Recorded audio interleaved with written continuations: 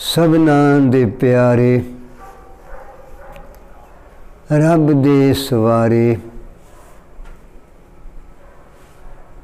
ਸਹਿਬ ਗੁਰੂ ਨਾਨਕ ਸੱਚੇ ਪਾਤਸ਼ਾਹ ਜੀ ਦੇ ਦਿਲਾਰੇ ਗੁਰਸਿੱਖੋ, ਵਾਹਿਗੁਰੂ ਜੀ ਕਾ ਖਾਲਸਾ, ਵਾਹਿਗੁਰੂ ਜੀ ਕੀ ਫਤਿਹ। ਸਾਡੇ ਅੰਦਰ ਗੁਰੂ ਨਾਨਕ ਜੀ ਵਸ ਜਾਣ। ਆਪਾਂ ਉਸ ਬੰਦ ਵੀ ਚਲੇ ਚਲੀਏ। ਓ ਕਜਲੀ ਬਨ।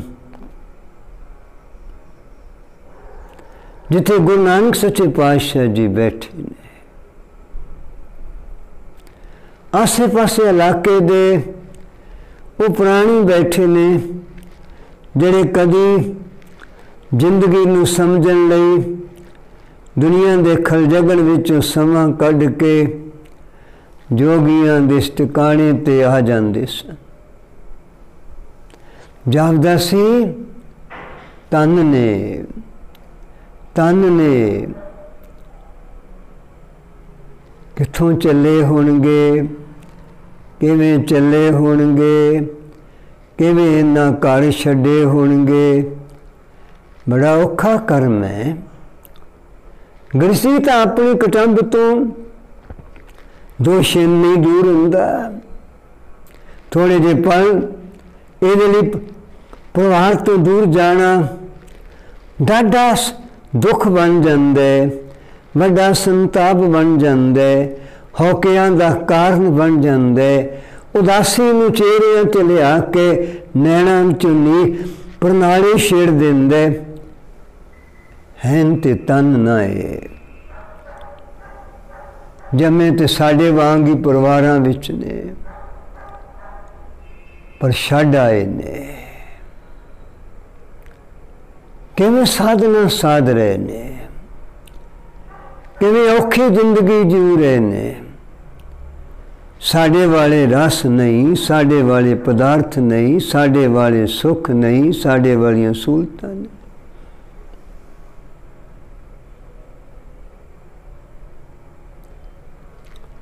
ਜੋ ਵਾਰੀ ਸਾਥਾਂ ਤੇ ਦੇਖਿਆ, ਉਹਨੇ ਖਿੱਚਿਆ ਤੇ ਆ ਗਏ। ਸੋਚਿਆ ਇਹਨਾਂ ਦਾ ਸੰਗ, ਸਾਨੂੰ ਕਿਸੇ ਮੰਜ਼ਿਲ ਤੇ ਲੈ ਜਾਏਗਾ, ਟਿਕਾਣੇ ਤੇ ਲੈ ਜਾਏਗਾ। ਪਤਾ ਨਹੀਂ ਕਦੋਂ ਦਾ ਆਸ਼ਰਮ ਬਣਿਆ ਤੇ ਕਦੋਂ ਦੇ ਲੋਕੀ ਆ ਰਹੇ ਨੇ, ਪਰ ਹੁਣ ਕੀ ਹੋਏ ਉਹ ਕਦਮ ਜਿਹੜੇ ਬੇਮੁਹਾਰੇ, ਚਲਦੇ ਚਲਦੇ, ਸਿੱਧੇ ਰਵਾਂ ਰਮੀ ਚਲਦੇ ਚਲਦੇ ਚਲਦੇ ਚਲਦੇ ਜੋਗੀਆਂ ਦੇ ਆਸ਼ਰਮ ਵਿੱਚ ਜਾਂਦੇ ਸਨ। ਹੁਣ ਜਿੱਦਣ ਦੇ ਗੁਰੂ ਨਾਨਕ ਜੀ ਆਏ ਨੇ, ਸਤਿਗੁਰੂ ਜੀ ਆਏ ਨੇ ਧਰਤੀ ਨੂੰ, ਵਾਰਸਾਂ ਨੂੰ ਗਿਆਨ ਵੰਡਣ ਵਾਲੇ ਦਾਤਾ ਜੀ ਆਏ ਨੇ, ਰਹਿਬਰਾਂ ਦੇ ਰਹਿਬਰ ਗੁਰੂ ਜੀ ਆਏ ਨੇ, ਉਹ ਕਦਮ ਆਸ਼ਰਮ ਵਾਲੇ ਜਾਣ ਵਾਲੇ ਰੁਕਦੇ ਰੁਕਦੇ ਰੁਕਦੇ ਰੁਕਦੇ, ਰੁਕ ਗਏ ਗੁਰੂ ਨਾਨਕ ਜੀ ਦੇ ਦਰ ਤੇ ਆ ਕੇ ਰੁਕ ਗਏ। ਐਸੇ ਰੁਕੇ ਕਿ ਜੋਗੀਆਂ ਦਾ ਆਸ਼ਰਮ ਖਾਲੀ ਹੋ ਗਿਆ। ਅੰਦਰ ਰਹਿਣ ਵਾਲੇ ਚੇਲੇ, ਮਰੀਦ, ਉਹ ਵੀ ਉਸ ਪਾਸੇ ਨੂੰ ਤੁਰ ਗਏ ਜਿੱਥੇ ਇਲਾਕੇ ਦੇ ਲੋਕੀ ਆ ਕੇ ਗੁਰੂ ਨਾਨਕ ਜੀ ਦਾ ਸੰਗ ਕਰਨ ਲਈ ਬੈਠ ਜਾਂਦੇ ਨੇ।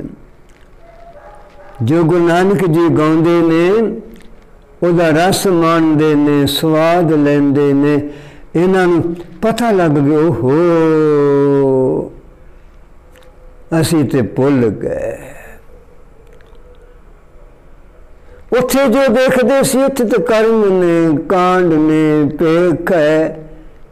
ਅਡੰਬਰ ਨੇ, ਭਲੇਖੇ ਨੇ, ਸ਼ਿਲਾਵੇ ਨੇ, ਹੱਠ ਕਰਮ ਨੇ। ਉੱਥੇ ਤਾਂ ਸਾਡੇ ਪਿੰਡ ਪੱਲੇ ਪੈਣ ਵਾਲੀ ਤਾਂ ਕੋਈ ਗੱਲ ਹੈ ਹੀ ਨਹੀਂ। ਇੱਥੇ ਕੀ ਹੈ? ਰਸ ਹੈ, ਸਰੂਰ ਹੈ, ਮਸਤੀ ਹੈ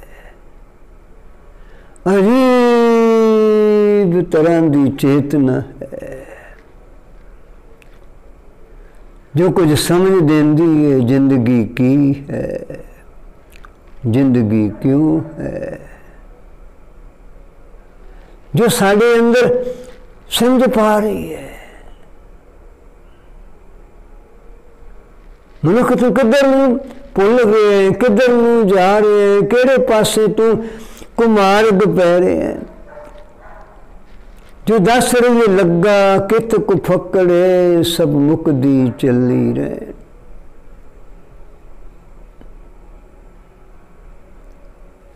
ਇਹ ਸਮਝ ਐ ਸ਼ਖਸੀਅਤ ਦੇ ਬੋਲਾਂ ਚ ਮਿਲ ਰਹੀ ਹੈ ਕੌਣ ਨੇ ਸਾਨੂੰ ਵੀ ਨਹੀਂ ਪਤਾ ਆਪਾਂ ਕੀ ਲੈਣਾ ਹੈ ਕੁਝ ਦੇ ਰਹੇ ਨੇ ਨਾ ਜੋ ਦੇ ਰਹੇ ਨੇ ਜੋ ਅਜ ਤੱਕ ਮਿਲਿਆ ਨਹੀਂ ਹੈ ਕੁਝ ਤੇ ਹੈ ਨਾ ਇਹਨਾਂ ਕੁਝ ਕੁਝ ਤੇ ਵੱਖਰਾ ਹੈ ਕੁਝ ਅਲੌਕਿਕ ਹੈ ਕੁਝ ਸਾਡੀ ਸਮਝ ਤੋਂ ਬਾਹਰ ਹੈ ਜਿੱਥੇ ਸਾਰੇ ਬੈਠੇ ਨੇ ਗੁਰੂ ਨਾਨਕ ਜੀ ਤੋਂ ਵਰਸਾਏ ਜਾ ਰਹੇ ਮਾਰਨੇ ਕੋਲੀ ਸਦਕੇ ਗਦ ਗਦ ਹੋਏ ਪਏ ਨੇ ਆਪਣੇ ਜ਼ਿੰਦਗੀ ਦੇ ਅਰਥਾਂ ਨੂੰ ਸਮਝਣ ਵਾਲੇ ਪਾਸੇ ਨੂੰ ਅੱਗੇ ਵਧਣ ਲੱਗ ਪਏ ਨੇ। ਹੁਣ ਪਰਥਰੀ ਜੀ, ਧੰਨ ਗੁਰੂ ਨਾਨਕ ਜੀ ਦੇ ਸਨਮੁਖ ਲੈਣੀ ਸੋ ਜਾਣਕਾਰੀ, ਕੌਣ ਨੇ? ਕਿੱਥੋਂ ਆਏ ਨੇ? ਕੀ ਕਰਨ ਆਏ ਨੇ? ਦੱਸ ਦਿੱਤਾ ਨੇ ਗੁਰਦੇਵ ਦੇ ਸਿੱਖਾਂ ਨੇ। ਹੁਣ ਸੁਰਤ ਪਰਥਰੀ ਜੀ ਦੀ ਦੀ ਫਿਰ ਉੱਪਰ ਉੱਠ ਗਈ। ਖਿਆਲ ਆਇਆ। ਜਦੋਂ ਮੈਨੂੰ ਸਾਧਨਾ ਕੀਤੀ ਤਾਂ ਮੇਰੇ ਅੰਦਰ ਉਹ ਪਾਖੇ ਆਈ ਸੀ ਨਾ।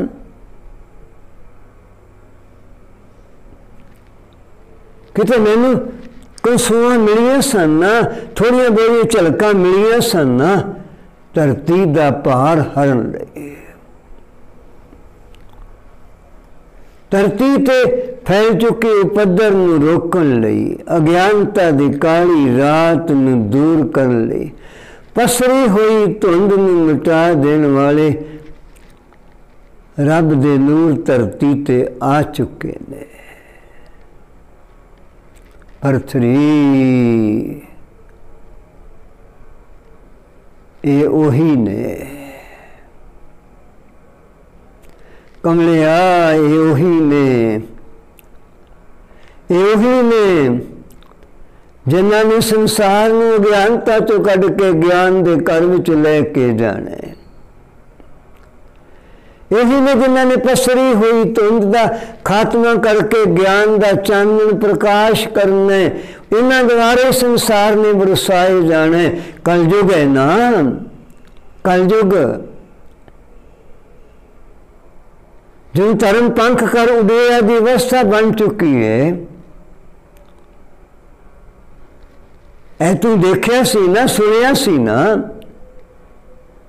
ਪਰਥਰੇ ਤੂੰ ਸੁਣਿਆ ਨਾ, ਆਪਣੇ ਆਪੇ ਨਾਲ ਗੱਲਾਂ ਕਰ ਰਹੇ।